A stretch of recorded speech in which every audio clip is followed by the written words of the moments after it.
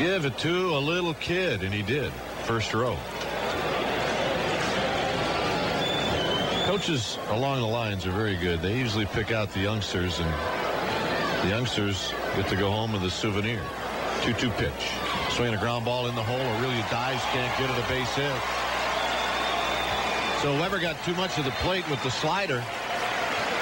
And Derrek Lee in his first at bat this year comes up with a base hit. The Marlins have had done a good job of getting the leadoff hitter on. They had a leadoff hitter aboard in the third, in the fifth, in the sixth, and now again here in the eighth. So here's Mark Kotsay. Lost his starting spot, at least in the home opener, to Brant Brown, but finds himself into the game for defense. Now steps up to try to help the offense. Kotsay, a good little player, sprays the ball around and has a little pop.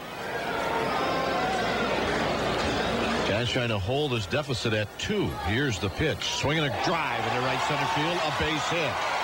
Lee will round the bag at second and head to third. And the Marlins with runners at the corners. Nobody out. Takes his hat off and slams it off of his thigh as he was backing up third. And the hitter will be Mike Redmond, who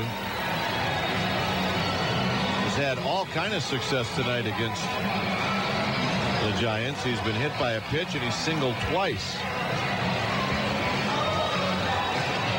But uh, one thing Weber showed during spring training is the ability to strike out people. And if he ever needed to strike out, it was right here.